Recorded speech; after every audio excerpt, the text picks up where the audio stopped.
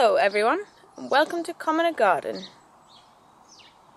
Today we have some bits and bobs to do in the garden. We had some rain last night that knocked over some of the broad beans. I should have already tied them up but I didn't so I'm going to do it now. Hopefully they'll survive that. Also we have some seedlings that are now big enough for us to plant into the raised beds and that's going to get done as well. So a quick note before I start is that you must leave enough space in a raised bed or an allotment garden for you to walk through uh, without damaging the plants. Um, and also you put a plank on the ground so that you don't compress the ground too much in one area where you're walking so your weight is spread evenly across the ground. Broad beans are a very leggy vegetable and as such they have a tendency to fall over. So I should have tied these up earlier but I'm going to do that now. Um, for the support I've used cuttings from a crabapple tree um, that I did in early spring as you're supposed to. So I'm just going to take the twine and wrap it around. And just give it a simple double knot.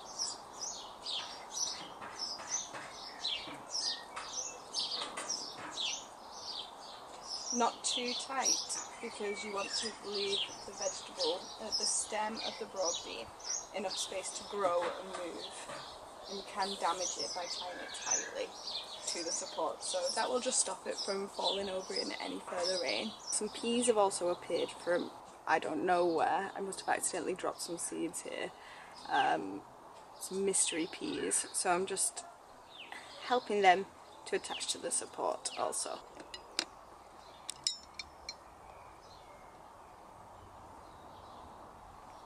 When planting on seedlings you want to ensure that the seedling has true leaves. Now if you look at this beetroot here you see that it's just got its first leaves so it's not ready to be planted out yet really. Some would but I want to give it a chance to be stronger so that it isn't as badly affected when I move it because all plants will be slightly affected when, when you plant them out into the ground or when you disturb the roots at all. So with the broccoli here that I have, you can see that it's got one, two, three, four leaves, true leaves. Uh, it's got two sets of true leaves, so I'm much more confident about moving it.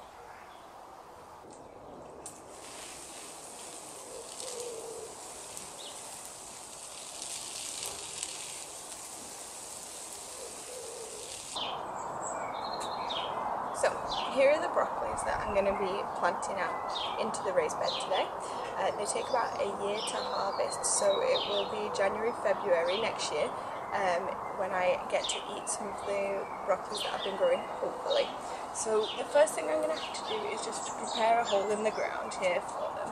And you want the hole to be roughly the size of um, the plant as it already is. Now I'm just going to tease these out of the box.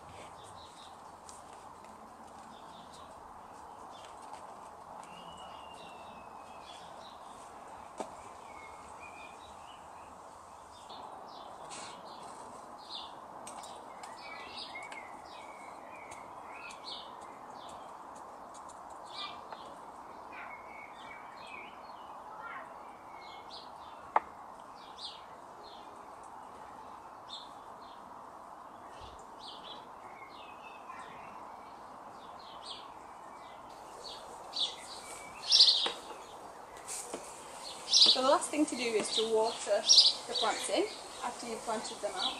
Give them a good soak.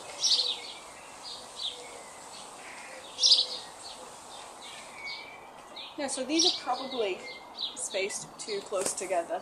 Um, so if they do get far too large for the space, I'll just take out every other one. It'll be a shame. Um, but I just wanted to try the seedlings in place, the ones that I'd grown anyway.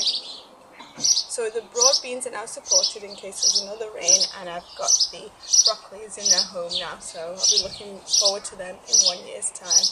Thank you again for watching Commoner Garden.